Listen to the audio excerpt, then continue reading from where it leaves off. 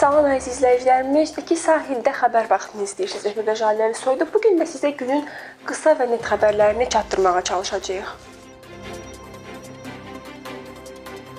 Bildiyimiz kimi son zamanlar dünyanın əsas gündəmi öz mübarizə apardığı koronavirus pandemiyasıdır. Soyuq havalarda da getdikcə vüsət alan bu pandemiyadan qorunmağın yeganə yolu isə səhiyyənin və dövlətin qoyduğu məhdudiyyətlərə əməl etməkdir. Özümüzü qorumaq, sonra isə yaxınlarımızı qorumaqdır. Elə bildiyimiz kimi insanlar arasında xəbərlər gəzirdi ki, koronavirusla bağlı götürülən testlərdə qıtlıq var, lakin təbibdən açıqlama gəlib ki, koronavirusla bağlı götürülən testlərdə heç bir qıtlıq yoxdur. Testlər kifayət qədər var, lakin artıq simptomsuz şəxslərdən tərəfindən koronavirus testinin götürülməsi dayandırılıb. Yəni əgər simptom yoxdursa, test də götürülmür.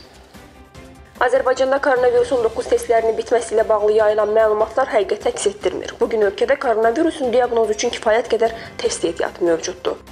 Bu barədəki sahilə təbibdən məlumat verilib. Təbib həmçinin bildirir ki, sadəcə olaraq gün ərzində götürülən testlərin sayı çox olduğundan laboratoriyaların iş gücünə təsir göstərir. Nəticədə təbii olaraq testin nəticələri bir qədər gecikmiş olur. Bu problemin aradan qaldırılması məqsədilə simptomsuz təmasların testlərin götürülməsi müvəqqəti məhdudiyyət qoyulması qərarı alınıb. Məlumatda vurğulanıb ki, hazırda ölkədə 37 laboratoriya mövcuddur. Bu laboratoriyalarda gündəlik 10 min testin aparılması nəzərdə tutulurdu. Artıq müraciətlərin sayı çox olduğundan gün ərzində laboratoriyalara daxil olan test nümunələri nəzərdə tutulduğundan 2 dəfə artıb. Azərbaycanın Gürcüstandakı səfir Faiq Quliyev bu ölkənin təhsil, elm və mədəniyyət naziri Mixail Çxenkeli ilə görüşüb. İki sahil xəbər verir ki, tərəflər ölkələr arasında humanitar sahələrdə əməkdaşlığın genişləndirilməsi məsələsini müzakirə ediblər. Mixail Çxenkeli Gürcüstan və Azərbaycanın birgə reallaşdırdığı layihələri müsbət qiymətləndirib. Onun sözlərinə görə ali təhsil sahəsində əməkdaşlığın dərinləşdirilməsi, birgə elmi araşdırma layihələrinin həyata keçirilməsi əhəmiyyətlidir. Görüşdə həmçinin mədəniyyət və idman sahələrində də qarşılıqlı əlaqələrin gücləndirilməsinin önəmi vurğulanıb. Faiq Quliyev öz növbəsində iki ölkə arasındakı əməkdaşlığın daha da dərinləşdirilməsi üçün hazırlığı ifadə edib. Əziz izləyicilər, Masallıda qəribə hadisə baş verib. Belə ki, karantin üçün nəzərdə tutulmuş postları keçmək istəyən 3 nəfər koronavirus xəstəsi polislər tərəfindən saxlanılıb. Masallı rayon polis şöbəsinin əməkdaşlarının keçirdiyi müvafiq tədbirlərdə koronavirus infeksiyasına yoluxmuş daha 3 nəfər rayon sakininin yaşayış yerini tərk etdiyi müəyyən edilib. Daxili İşlər Nazirliyinin mətbuat xidmətinin Lənkəran regional qrupundan 2 sahilə verilən məlumata görə Masallı rayon sakinləri Sahib Mehdiyev, Laçın Kərimov və Əkbər Əkbərova koronavirus infeksiyası testinin pozitiv nəticəsinə görə ev şəraitində müalicə təyin edilib və onlara yaşayış yerini tərk etməmələri tapşırılıb. Masallı rayon polis şöbəsinin əməkdaşlarının keçirdiyi müvafiq tədbirlərdə həmin şəxslərin yaşayış yerlərini tərk etdiyi müəyyən edilib. Həmin şəxslər karantin rejimi ilə əlaqədar yaradılmış postlardan birindən keçmək istəyərkən saxlanılaraq yaşadıkları ünvana geri qaytarıblar. Onların törətdiyi əmələ hüquqi qiymət verilməsi üçün Masallı rayon polis şöbəsinin istintaq bölməsində araşdırma aparılır.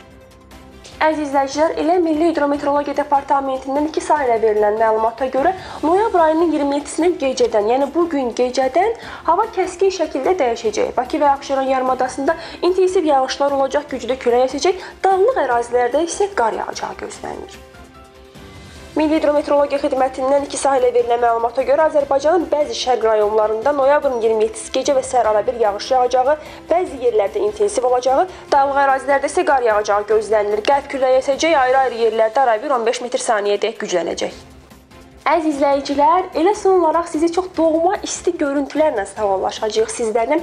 Belə ki, işğaldan azad olunmuş doğma Kəlbəcərimizdən, isti suyundan görüntülər var. Qeyd edeyim ki, Kəlbəcər elə öz isti su sanatoriyasına görə dünyada tanınırdı. İsti su 1138-ci ildə zəlzələ baş verməsi və daşların çatlaması, qabarması nəticəsində güclü zəlzələdən sonra yaranmışdı isti su. İndi həmin o isti sudan yeni görüntülər, əskərlərimizin çəkdiyi yeni görüntüləri sizə təqdim edib elə sağollaşacağıq. Buyurun görüntüləri izləyin.